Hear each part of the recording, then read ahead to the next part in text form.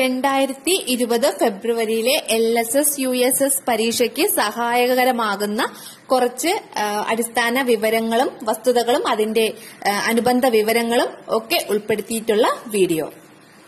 Video നിങ്ങൾക്ക് ഉപകാരപ്രദമാകുന്നു എന്ന് തോന്നുന്നുവെങ്കിൽ ദയവ് ചെയ്ത് ചാനൽ സബ്സ്ക്രൈബ് ചെയ്യുക അതിനോടൊപ്പമുള്ള ബെല്ലൈക്കൺ കൂടി പ്രസ് ചെയ്യുക.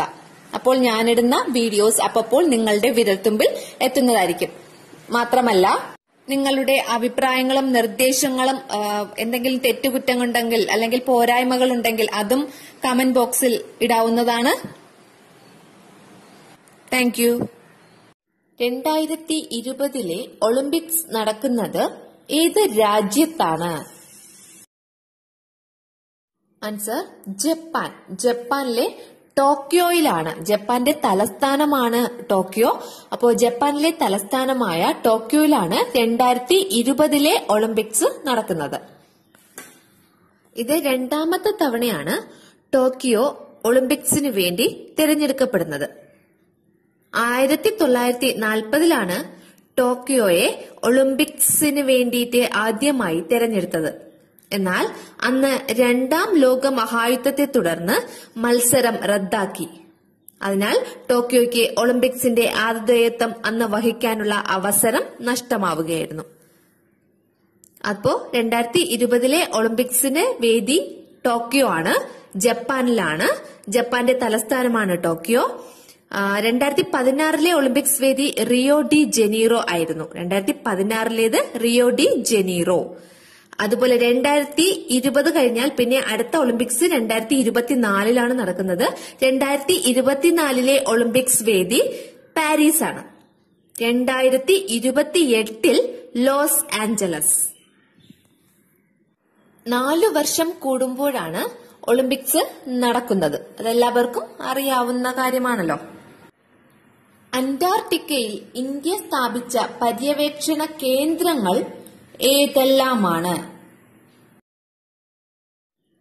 ദക്ഷിണ ഗംഗോത്രി ആയിരത്തി തൊള്ളായിരത്തി എൺപത്തി മൂന്നിൽ സ്ഥാപിച്ചു. അന്റാർട്ടിക്കയിൽ ഇന്ത്യ ആദ്യമായി സ്ഥാപിച്ച പര്യവേക്ഷണ കേന്ദ്രമാണ് ദക്ഷിണ ഗംഗോത്രി. അതിനുശേഷം അതായത് ആയിരത്തി തൊള്ളായിരത്തി എൺപത്തി മൂന്നിൽ സ്ഥാപിച്ചത്.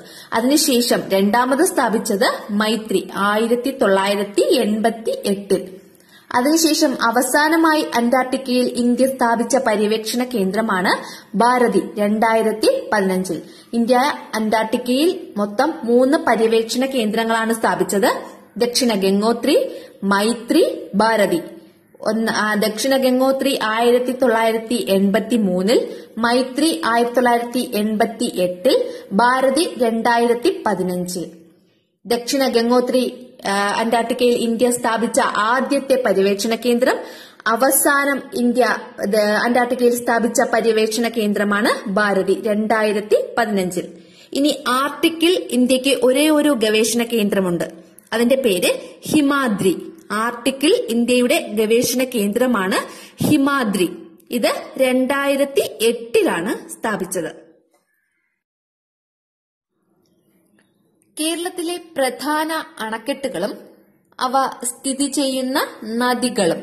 അതാണ് നമ്മൾ ഇന്ന് നോക്കാൻ പോകുന്നത്. ആദ്യത്തേത് മുല്ലപ്പെരിയാർ. വിവാദങ്ങളാൽ വാർത്തകളിൽ നിറഞ്ഞു നിൽക്കുന്ന അണക്കെട്ട് മുല്ലപ്പെരിയാർ. മുല്ലപ്പെരിയാർ അണക്കെട്ട് സ്ഥിതി ചെയ്യുന്നത് മുല്ലയാർ എന്ന നദിക്ക് കുറുകയാണ്. മുല്ലയാർ. ഈ മുല്ലയാർ എന്നുള്ളത് പെരിയാറിന്റെ ഒരു പോഷക നദിയാണ് അപ്പൊ പെരിയാർ എന്ന് തന്നിരുന്നാലും ശരിയാണ്. അപ്പൊ മുല്ലപ്പെരിയാർ മുല്ലയാർ അല്ലെങ്കിൽ പെരിയാറിന്റെ കുറുകെയാണ് സ്ഥിതി ചെയ്യുന്നത്. രണ്ടാമത്തത് ബാണാസുര സാഗർ. ബാണാസുര സാഗർ അണക്കെട്ട് സ്ഥിതി ചെയ്യുന്നത് പനമരം പുഴയ്ക്ക് കുറുകെയാണ്. പനമരം പുഴയ്ക്ക് കുറുകെ. അത് മാത്രമല്ല ബാണാസുര സാഗർ അണക്കെട്ടിനൊരു പ്രത്യേകതയുണ്ട്.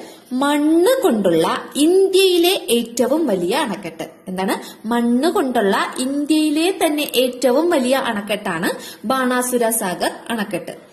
അടുത്തത് ഇടുക്കി. ഇടുക്കി ഡാം അല്ലെങ്കിൽ ഇടുക്കി അണക്കെട്ട് സ്ഥിതി ചെയ്യുന്നത് പെരിയാർ നദിക്ക് കുറുകയാണ്. കേരളത്തിൽ ഏറ്റവും കൂടുതൽ അണക്കെട്ടുകളുള്ള ജില്ല ഇടുക്കി ജില്ലയാണ്. ഏറ്റവും കൂടുതൽ അണക്കെട്ടുകളുള്ള ജില്ല ഇടുക്കി ജില്ലയാണ്. അടുത്തത് ഭൂതത്താൻ കെട്ട്. ഭൂതത്താൻ കെട്ട് എറണാകുളത്താണ് ഇത് സ്ഥിതി ചെയ്യുന്നത്. പെരിയാർ നദിക്ക് കുറുകെയാണ്. അപ്പോ എറണാകുളത്തെ ഭൂതത്താൻ കെട്ട് അണക്കെട്ട് സ്ഥിതി ചെയ്യുന്നത് പെരിയാർ നദിക്ക് കുറുകെ. അടുത്തത് അരുവിക്കര ഡാം. അരുവിക്കര ഡാം അല്ലെങ്കിൽ അരുവിക്കര അണക്കെട്ട് സ്ഥിതി ചെയ്യുന്നത് കരമനയാർ നദിക്ക് കുറുകെയാണ്. കരമനയാർ. ഇത് തിരുവനന്തപുരത്ത് സ്ഥിതി ചെയ്യുന്ന ഒരു അണക്കെട്ടാണ് അരുവിക്കര അണക്കെട്ട്.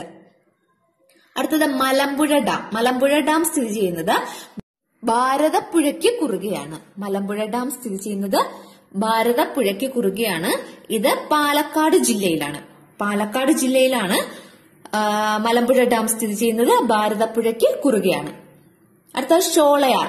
ഷോളയാർ ഡാം സ്ഥിതി ചെയ്യുന്നത് ചാലക്കുടി പുഴയിലാണ്. ഷോളയാർ ഡാം സ്ഥിതി ചെയ്യുന്നത് Chalakudy പുഴയിലാണ്.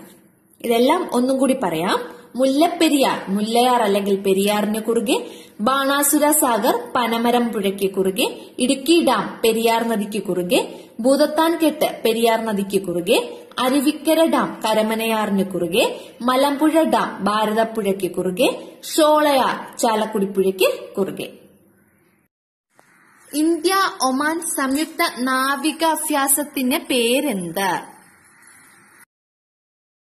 Answer Naseem Al Bahr India Oman സംയുക്ത നാവികാഭ്യാസത്തിന്റെ പേരാണ് നാസിം അൽ ബഹർ എന്നുള്ളത്.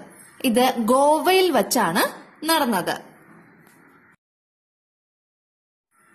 അക്വാറീജിയ ഏതൊക്കെ ആസിഡുകളുടെ മിശ്രിതമാണ്? ഗാഡ നൈട്രിക് ആസിഡിന്റെയും ഗാഡ ഹൈഡ്രോക്ലോറിക് ആസിഡിന്റെയും ഒരു മിശ്രിതമാണ് അക്വാറീജിയ. എന്ന ദ്രാവകം. രാജദ്രാവകം എന്നതാണ് ഈ പദത്തിന്റെ അർത്ഥം. സ്വർണത്തെ അലിയിക്കാനുള്ള കഴിവുള്ളതുകൊണ്ടാണ് ഇതിനെ രാജദ്രാവകം എന്ന പേരിൽ വിളിക്കുന്നത്. ഗാഢ നൈട്രിക് ആസിഡും ഗാഢ ഹൈഡ്രോക്ലോറിക് ആസിഡും ഒന്നേ ഇസ്റ്റു മൂന്ന് എന്ന അനുപാതത്തിൽ കൂട്ടിച്ചേർത്താണ് അക്വാറീജിയ നിർമ്മിക്കുന്നത്.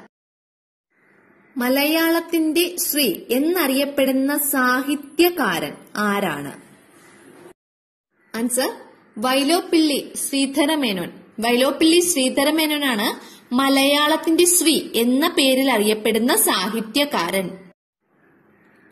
വൈക്കം മുഹമ്മദ് ബഷീർ തിരക്കഥ എഴുതിയ ഏക സിനിമ ഏതാണ്? അദ്ദേഹം ഒരേ ഒരു സിനിമയ്ക്ക് മാത്രമേ തിരക്കഥ എഴുതിയിട്ടുള്ളൂ. അത് ഏത് സിനിമയാണ്? ആൻസർ ഭാർഗവി നിലയം ഭാർഗവി നിലയമാണ് വൈക്കം മുഹമ്മദ് ബഷീർ തിരക്കഥ എഴുതിയ ഏക സിനിമ. ഭാർഗവി നിലയം ഋതുക്കളുടെ കവി എന്ന പേരിൽ അറിയപ്പെടുന്നത് ആരാണ്? ഏത് കവിയാണ് ഋതുക്കളുടെ കവി എന്ന പേരിൽ അറിയപ്പെടുന്നത്? ആൻസർ ചെറുശ്ശേരി. ചെറുശ്ശേരിയാണ് ഋതുക്കളുടെ കവി എന്ന പേരിൽ അറിയപ്പെടുന്നത്. ചങ്ങമ്പുഴ എഴുതിയ ഒരേ ഒരു നോവൽ ഏതാണ്? ചങ്ങമ്പുഴ ഒരേ ഒരു നോവൽ എഴുതിയിട്ടുള്ളൂ. അതിന്റെ പേര് എന്താണ്? ആൻസർ കളിത്തോഴി. കളിത്തോഴി എന്നതാണ് ചങ്ങമ്പുഴ എഴുതിയ ഒരേ ഒരു നോവൽ. മലയാളത്തിലെ ആദ്യ ജനകീയ കവി ആരാണ്? മലയാളത്തിലെ ആദ്യ ജനകീയ കവി ഏ- ആരാണ്? ആൻസർ കുഞ്ചൻ നമ്പ്യാർ. കുഞ്ചൻ നമ്പ്യാർ ആണ്. തുള്ളൽ പ്രസ്ഥാനത്തിന്റെ ഉപജ്ഞാതാവായ കുഞ്ചൻ നമ്പ്യാറാണ് മലയാളത്തിലെ ആദ്യ ജനകീയ കവി എന്ന പേരിൽ അറിയപ്പെടുന്നത്.